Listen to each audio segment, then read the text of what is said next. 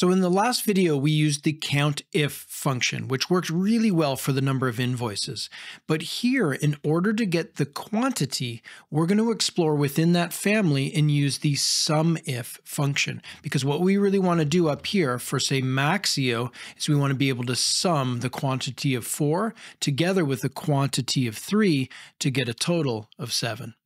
So let's dive into it. If we hop into the cell right down here, we can put in equals and then just start typing sum if like this. And we can see it come up right there, sum if singular. So we can hit tab. And it's first asking for the range, which is not incredibly descriptive. But what it's looking for is it's looking for where it can find the items, the various items. And we're going to select all the way down this list here for the range. Let's put in a comma. Now for the criteria, the criteria is going to be obviously over here, Maxio. Okay, now we put in a comma. The last thing it's looking for is what to aggregate. So in this case, we what do we want to sum? Well, we want to sum up all of these numbers here, which is the quantity. And then we can close the brackets and hit enter. And we definitely want to make use of some good cell locking here so that we can copy this. Let's pop into the cell, tap F2. Okay, we're going to use the left arrow and go across. This blue reference here to range, let's tap F4 once. So that's completely locked. And the last reference here to the sum range, we're also going to tap F4 once. So that is totally locked. Let's think about this one carefully. Um, what we'd like to do here is only lock the column B, but have the 26 unlocked. So let's tap the F4 key once, twice, and then third time is what we want. The dollar sign in front of the B locks the B, but there's no dollar sign in front of the 26, which means it can change to 27, 28, etc. So let's hit enter and we're all good there. So now that that's all locked down, let's just hold down the shift key, control D for a fill down. Great idea to check our work as well. Let's go to this bottom cell, tap F2. and As we can see, this range here, completely locked, as is the purple one, but this red cell moved down perfectly. And now that we're in the cell below, we can hit Alt equals, which is an auto sum, and hit enter, and we get the total quantity of 29. We can check our work quickly as well. Let's just visually look for Maxio. We can see it comes up there on two invoices. We can visually see that they add to seven, and we can see a quantity of seven right here. Now we can also use the SUMIF actually for the revenue. In fact, if we look here at Maxio, what we want to do, just as we summed these to seven, we could also sum up the revenue here, which would get to about 2,500 roughly. So this is where that cell locking that we did very carefully on the quantity is going to come in really handy. Let's go down here and we're going to hold down the shift key and we might as well grab the bottom total as well. And we're just going to do a copy over to revenue and a paste. Now we're going to need to make a modification to this formula. So let's go into this first entry here. We're going to tap F2. And what we effectively need to do is take this purple range here and move it over so that it's summing revenue. You could do that with the keyboard by going in here and changing the D to an F like this, just putting in say F there and F there, and that would do it. What you can also do if you'd like using the mouse is grab these and then move them just like this across over to revenue, and then we can hit enter. Now that we've made the change here, we need to copy it downwards. So let's just select with the shift key all the way down to the last item here, but not the total, and then hit control D, which copies and pastes everything down with a fill down. Let's discuss now what to do for this price column. We have within the family of functions a COUNTIF, a SUMIF, and an AVERAGEIF. We know the COUNTIF is not appropriate because we don't just want to count the prices that are entered. We also don't want to sum them. For instance, we wouldn't want to take these two numbers together and sum them to 710. That would not be appropriate. We have an AVERAGEIF function. The problem there is it's going to do a simple average of these prices, which completely ignores the deviations here in quantity.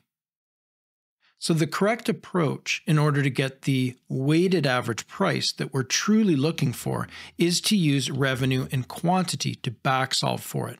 So in here in the price column, we're going to say equals the total revenue that we have divided across the quantity that was actually sold. We hit enter. This gives us a perfect weighted average price. So what we want now is to be able to copy this formula all the way down to the bottom, but we don't want to mess up the different formats we have with bold on the bottom. So we're going to do a copy, control C. Now use the shift key, highlight all the way down, including the totals, and we're going to do alt ES, or you could also do Control Alt V to have this come up, which is a paste special. Then we go down to formulas. So we're only pasting the formulas and we hit enter and that's done. Now, one really nice spot check that we can do here, just to check our work, is we can see that we have 12 invoices, and down here, we're showing 12 invoices. Quantity of 29 is consistent with the quantity here. The price of 278 and the revenue of 8050 is consistent with what we're getting down here. So everything looks great. So great work completing that quadrant of the dashboard. And now you've added a new family of functions to your skill set. For instance, you have COUNTIF, SUMIF, and AVERAGEIF as well. In the next video, we'll check out yet another family of great Excel functions that we can use to aggregate. So in the last video, we looked at a family of Excel functions that had COUNTIF and SUMIF and AVERAGEIF. We're now going to look at the plural versions of those formulas. So for instance, count ifs, sum ifs, and average ifs. Now for this demonstration, let's zoom in just a little bit so we can see really clearly what we're building, just like this. So in this case, we're going to use a sum ifs function right in this cell. There'll be two conditions. Condition number one, we want the item to be Maxio. Condition number two, we want it to be a single item or a single item yes. So let's start off in this cell by putting in equals sum, and then we can use the arrow key to get down to the plural version, sum ifs, hit the tab key. Now the first thing it's asking for this time is the sum range. Before the sum range was the last thing it asked for, so watch out for that. So the sum range is the thing that we want to sum, and what we want to sum up here, in this case, is the revenue. So we've selected all of the revenue numbers. Let's put in a comma. Criteria range 1 will be all of these item numbers over here, or these item names, I should say, and then put in a comma. The criteria one itself will be this item right here, which is Maxio in cell I7. Then we put in a comma. Now it wants criteria range 2, which will be over here. It's all these yeses and nos. And now we put in a comma, and it wants criteria 2, which is just up above here where it says yes. Now we close the bracket and hit enter. Now let's do some really careful cell locking. Pop into the cell, tap F2. We want these ranges to be completely locked. So the first one that's in blue here, I'm going to tap F4 once. Okay. The one that's in red here, I'm going to tap F4 for that one as well. And then the third one, which is green, we're also going to tap F4 once to completely lock them. Now let's put some careful thought into these cells. Cell I7, we only want the I locked but not the 7. So let's tap F4 one, two, three times so that that is accomplished with only the I locked. Now over here, we want the opposite. We don't want the J locked so it can move across to K, but we want the number 6 locked. So let's tap F4 once, twice, and that'll do it. So the 6 is locked. Let's hit enter. Now let's test whether or not those cells are locked correctly. From this cell, let's use the Shift key and highlight all the way down and then one over to the right, and we're going to hit Control D for a fill down, now Control R for a fill right. Now you may want to be thorough and check every one of these cells, but in fact, you only need to check one of the diagonal cells. What do we mean by that? Well, we started in this cell right here. So if we go down and then to the right, we get to this cell, which is diagonal from the original cell. If we tap F2 and do a test, we're checking whether or not it responds correctly when it goes up and down and left and right. What do we see? We see these three ranges here, all perfectly locked with no movement. This cell here moved downwards perfectly, but it always stayed in column I. And then this cell here moved across perfectly, but it always stayed in row six. So everything's working perfectly. So we can hit enter, and now we know that in fact everything's working for all of these cells in this range. So what's next? We're going to use one of our absolute favorite Excel shortcuts, I'm going to go into this cell here and tap Alt equals, which is a auto sum. And as you can see, it works horizontally as well as vertically. So we hit enter now. And now we're going to highlight down with the shift key, control D to fill down. Now what we can do is go to the bottom here and also do an auto sum, alt equals, hit enter. And now we can highlight across and a control R, which is a fill right. So we could spot check our work a little bit too. Right here, we have this total revenue number, which is perfectly matching the revenue that's right down here, 8050. Let's take a quick look at these two Maxio items, for example. We know that the revenue here is adding to 2480, and that's the revenue that we're seeing over here. And that's also derived completely from non-single items. So it looks like it's working really well. So let's jump ahead to the next video. There are some nuances and limitations in this family of functions we just discussed. We'll walk you through them in the next lesson. We'll see you there. So as we mentioned in the last video, there's some slight nuances when using the plural version of these formulas, like sum ifs, for example. Let's just look down in this bottom right quadrant. This is where we're going to go through some calculations just to illustrate to you exactly what some of these limitations are. So let's start off down in this cell right here. And we're just going to use a simple sum if function to grab the revenue for soloist. Okay, so in this cell, we're going to put in equals sum if, just like this. For the range, we're going to grab all of these items that are up here. We're going to put in a comma. The criteria is going to be here, soloist, and then a final comma. And we want to grab the sum range, which will be all of these revenue numbers that are right here. We can close the bracket and hit enter. Now let's pop back into the cell, make sure things are locked down properly here. So we want to lock down this first range here with an F4 and the second range over here with also an F4. And we're going to leave that other cell unlocked. Now we can highlight down and do a control D to get these copied into the next cell. Now down here, if we were looking for the total, we would probably put in an auto sum function quickly like this, alt equals, and then hit enter. That would give us the total of 2400. But what we're going to try to do is we're going to delete it out. We're going to try to build this up using sum ifs, since we have two conditions, one condition here and a second condition right here. So let's go down into the cell here where the totals are. Put in equals, sum ifs, plural, and we're going to hit tab. And first we want the sum range. So that's going to be all of these revenue numbers that are right here. Let's put in a comma. Criteria range one will be up over here, all of these items, comma. Criteria one will be soloist, and then we're going to put in a comma. Criteria range two will be the same as criteria range one. It will be all of these items that are right here. And then we put in a comma. Now criteria two will be different. It will be right here, the word extreme. And then we're going to close the bracket and hit enter. So the result here is very peculiar because we know the correct result is 2400, yet we're getting a zero. Let's check our work. If we tap F2, we can see that we've correctly selected here the sum range and then we have criteria range one, criteria one, which is soloist, criteria range two, and criteria two. Everything looks perfect.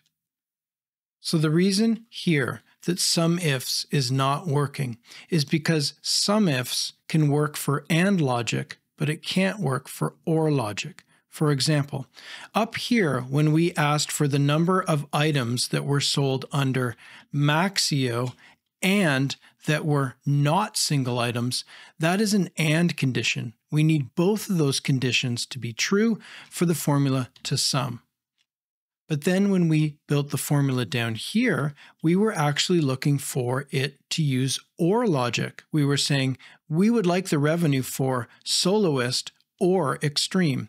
And the sum ifs function cannot perform OR logic. It can only perform AND logic. So what we're going to do down here is drop a couple of footnotes in place. And we're going to ask you to pause the video if you could and put these notes in. We want you to understand that sum ifs only works for AND logic and it does not work for OR logic. So it's great to know that limitation of the sum ifs function in that it can only use and logic. Many people don't know that about the function, so you're one of the select few who totally understands it now. The other thing to keep in mind is you can put as many conditions in there as you want, so there's really no limit. It's quite a powerful aggregation function. Now let's look ahead to the next video where we're going to look at some lookup functions. We'll see you there. So as you probably guessed by the name of this chapter, we're going to be discussing lookup functions here. Really important to understand how they work and the pros and cons of them because they're so common in Microsoft Excel. So one of the things that you're going to see from this discussion is that over here, we definitely prefer the newer XLOOKUP function to its predecessors, which were HLOOKUP and VLOOKUP. So you may be wondering, why are we looking at HLOOKUP and VLOOKUP at all if there's a newer function and you actually prefer it? The reason that you need to understand these older functions like HLOOKUP and VLOOKUP is so that you could audit them in older legacy files. Also, you'd then know how to replace them with the newer XLOOKUP functions. It's also great for you to know the limitations of the HLOOKUP and VLOOKUP functions and also where they are very, very prone to causing errors in financial spreadsheets. So it's great to know all of this so that you can convince people on your team to swap out the older functions for the newer XLOOKUP functions. We're going to discuss all of those pros and cons, advantages and disadvantages in this chapter. So as you can see down at the bottom of the Excel file, we're on the lookups tab. We're going to be looking at lookup functions in this chapter here. Now let's get familiar with the data that we're going to be working with. We can see here the title, commission rates. And what we have here is we have all of the items listed from one to five and the associated commission rates. Now this set of data here is in horizontal format, but we also supply the same identical data down below here in a vertical format with the item numbers down this column and then the commission rates here. You wouldn't normally see the data in horizontal and vertical format, but we wanted to show you in both formats here so you can get familiar with using lookup functions in both of these formats. Now let's take a look down further on the Excel file here where we have commission calculations. What we're going to be doing in these chapters is looking at how to pull in information using an HLOOKUP, VLOOKUP, and then the two ways to pull it in with an XLOOKUP depending on the orientation. So really we're going to have commission rates across here and down to the bottom, which are all identical. And then we're going to use those commission rates with the revenue here in order to calculate the commission down this side.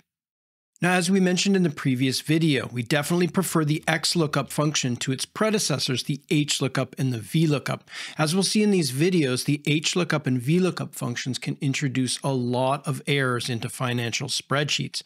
Now, the XLOOKUP function came out in 2019.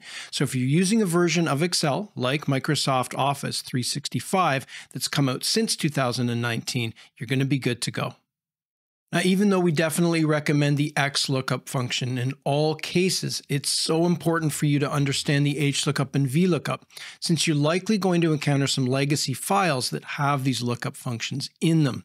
Also, if there are people on your team that really don't believe in the new function, XLOOKUP, then you'll be able to show them after these videos where the shortcomings are with HLOOKUP and VLOOKUP and how prone they can be to producing errors in your financial spreadsheets. Lots to cover, so let's dive in and get started.